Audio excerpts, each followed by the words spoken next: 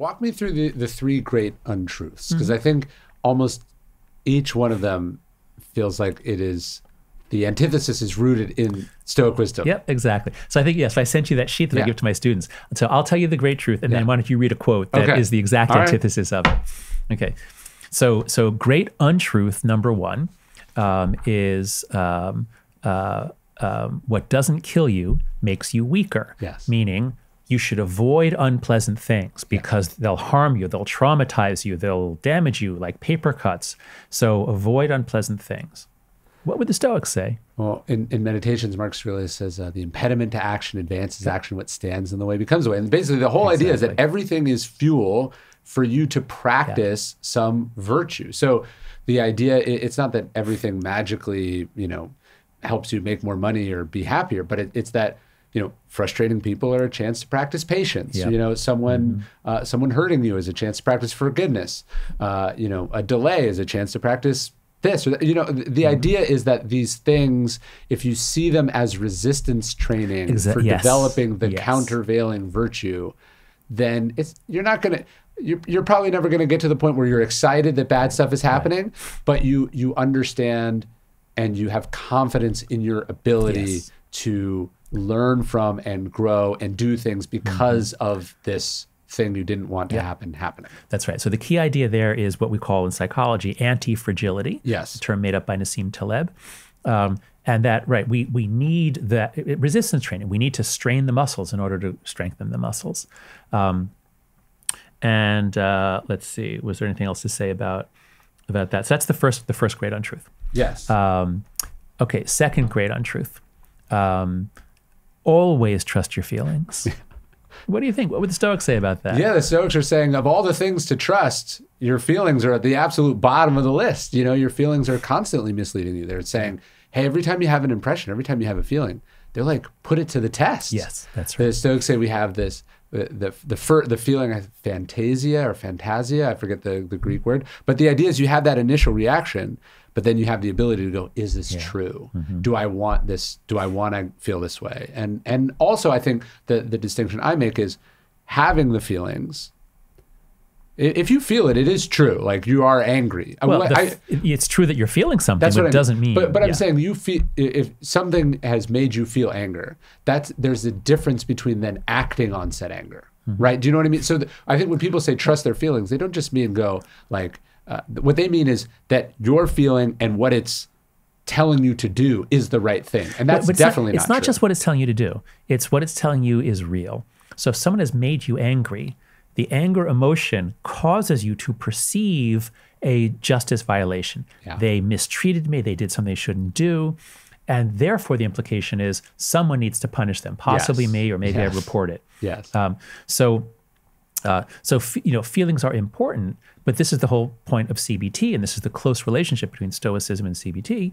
Is you know, Aaron Beck and the others in the '60s and '70s found that people will spontaneously look for evidence that their feeling is right. yes. Will look for reasons to back up your anger at your wife or your teacher, whoever.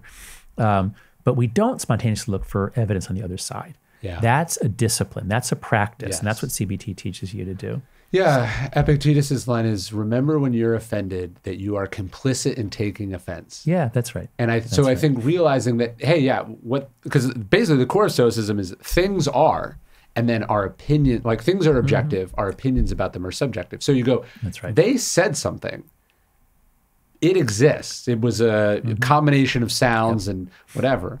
But the idea that what they said is offensive or racist Right. or cruel or wrong that's requires you to ascribe a judgment to that that's thing. And that's not and to you say you could that, be wrong. You could be right, but you really could be wrong. yeah, and, and that, yeah, that's not to say that everything is okay and that Mm-hmm. Yeah. we should just accept people. And and it certainly doesn't mean that you should go around doing those things. That's right. That's right. But it says, hey, let's step back and let's is there another way I could see this? Yeah, that's right.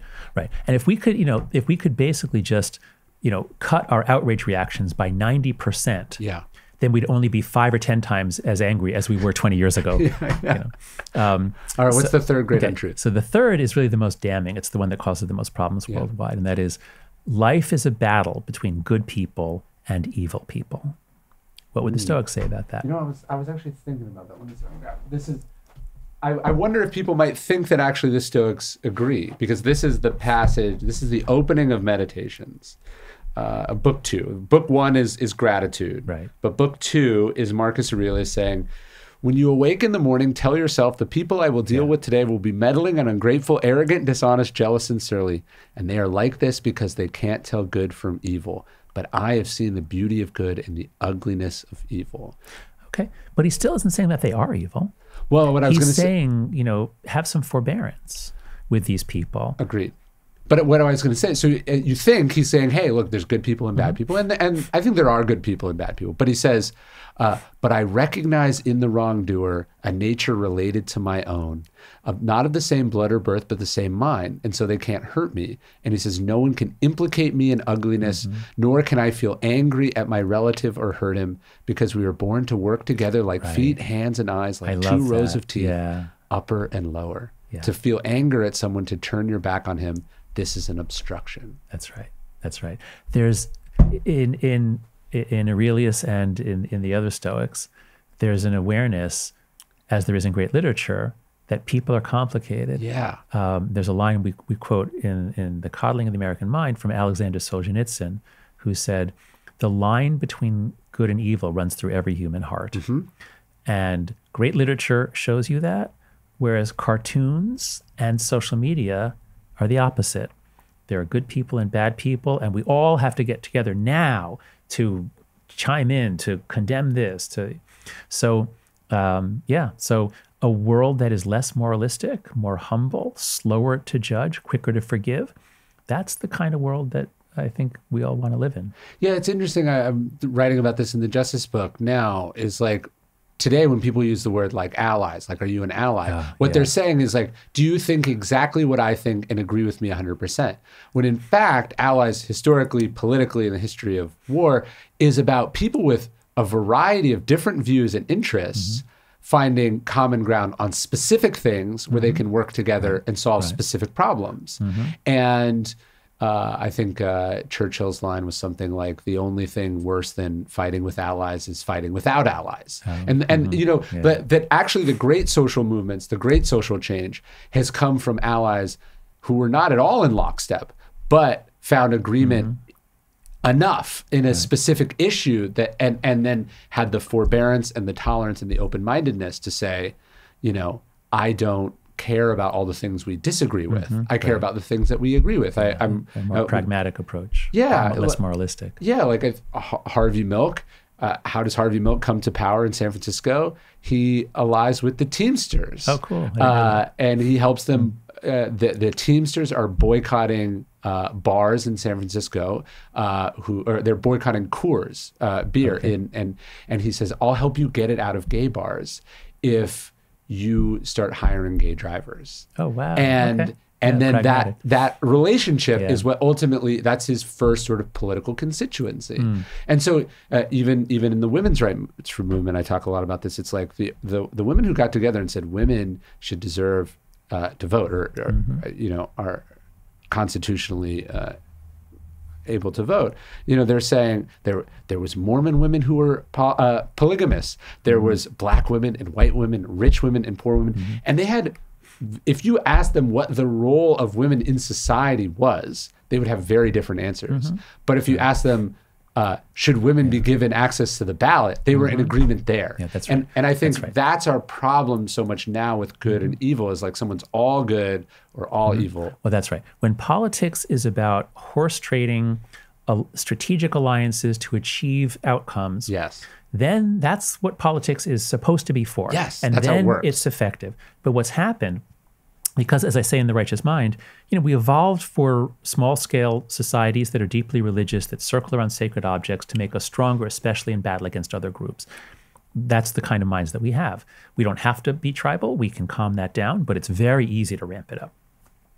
And our politics, unfortunately, has morphed in the you know in the TV age or and before. You know, it was more pragmatic stuff, but especially in the social media age, and this began in the TV age with cable TV, because it's much more moralistic. We get a culture war mentality, and now it's us versus them. It's red team versus blue team. Yeah. And you know the way our founding fathers set up American democracy, or I should say, a republic with democratic features, it can't function No. if we are two opposing tribes who cannot compromise. Yeah, because you're almost never going to get an absolute majority. You have to create uh, a majority by cobbling together several different Yeah. minorities. And and yeah, if you have this uh, us or them, good versus evil mentality, you're you're probably not going to be able to do that because you're going to be too pure for it, too self righteous That's, for that's it. right. That's right. So I think we're in agreement Yes. that our society is in huge trouble. But if uh, the ideas of the ancients, especially the Stoics, were more widely understood, we would have a citizenry with the virtues that the founding fathers kind of hoped that we would have. Yes. How's that? I agree. I totally agree.